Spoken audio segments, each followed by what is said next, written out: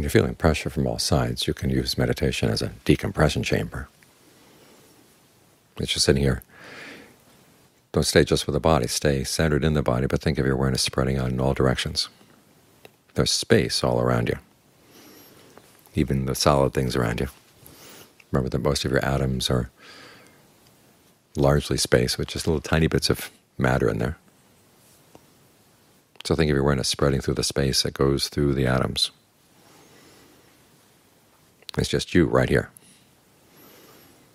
And that sense of pressure and the sense of being surrounded can begin to dissipate out.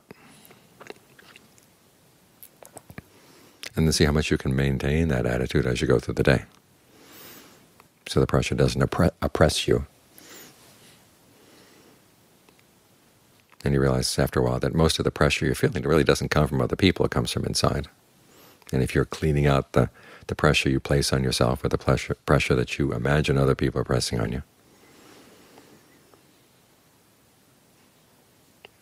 it's a lot more spacious inside. And even if there is pressure from outside, the sense of space inside, the sense of space permeating everything,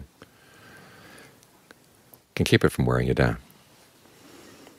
That when you're coming from a position of strength, you're much less likely to lash out at other people, because it's when we're feeling weak and threatened, that's when we lash out. But you've got this solid foundation inside, okay, then you're okay.